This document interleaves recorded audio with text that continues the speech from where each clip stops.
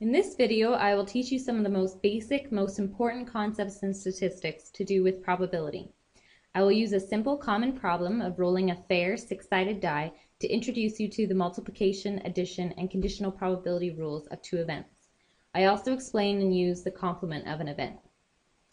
In this lesson, I use logic and formulas to solve the problems. However, in a different video, I solve a similar problem using set notation and Venn diagrams.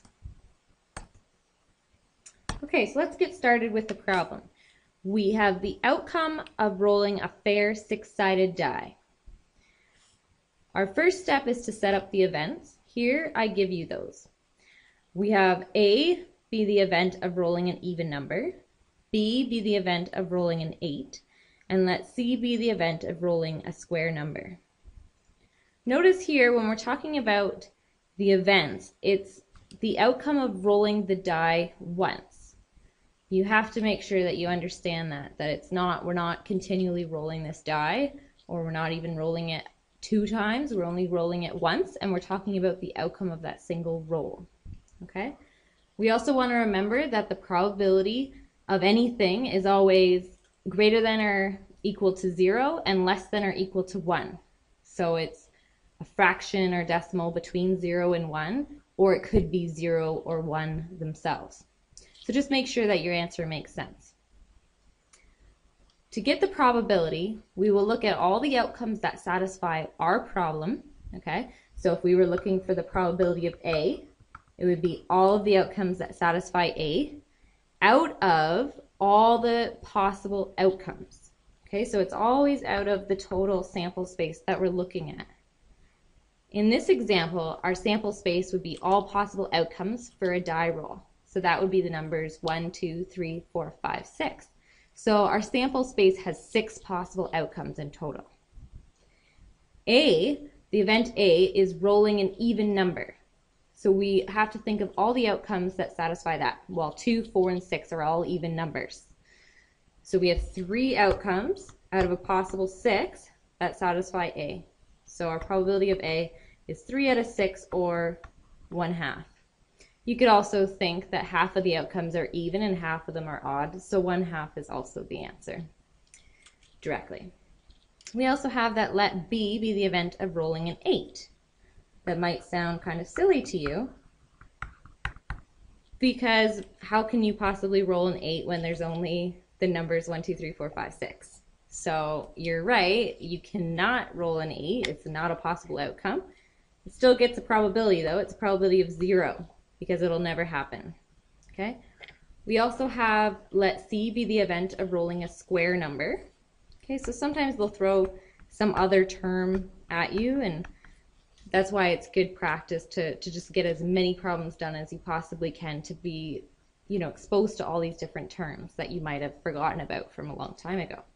So what is a square number? Well, it's an integer that if you take the square root of it, you'll also get an integer. So 4 is a square number because you can take the square root and you get 2. Also in our sample space of those numbers 1, 2, 3, 4, 5, 6, the only other one that's a square number is 1 because you take the square root of 1, you get 1. If you take the square root of any of those other numbers, you're not going to get an integer. Okay? Um, so we have to think of what outcomes satisfy C. So what outcomes are square out of all the possible outcomes? Well, we just said numbers 1 and 4 are square, so that's two outcomes out of the possible six, or one out of three. Okay?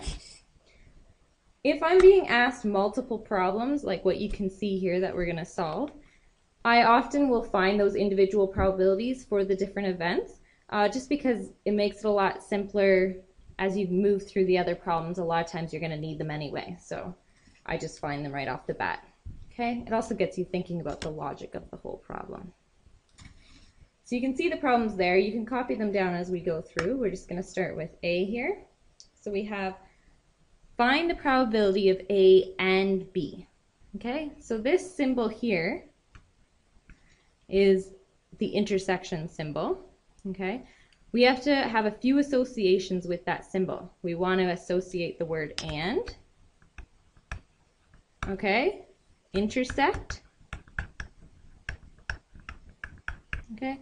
And multiplication. I'm just going to put a multiplication sign there, okay?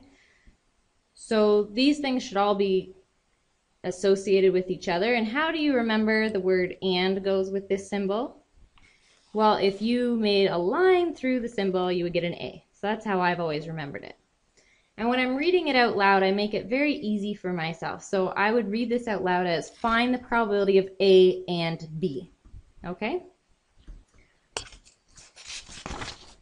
All right, so although we could use the multiplication rule to solve this problem, which I'm going to introduce later, uh, we're just going to use some logic to start, okay? Using logic will often be a faster method if it's easy enough to do, and if you can't do it, then you can always rely on a formula. Okay, so I've also like to read the problem aloud to myself um, about it, using the words of the events. Okay, so here I would say, what is the probability of rolling an even number, because that's A, and rolling an 8? Okay, remember, we're only talking about a single roll, and we need to find all the outcomes that satisfy both A and B, because of that word and, because that intersection sign. So which outcomes are both an even number and an 8? Well, no outcome can be an 8, so nothing satisfies B. Um, so no outcome would ever satisfy both. Therefore, this probability is simply zero. Okay, so I have to cut the video short here just to fit in with uh, YouTube. So if you can continue on to the next video, I will do the next part of the question.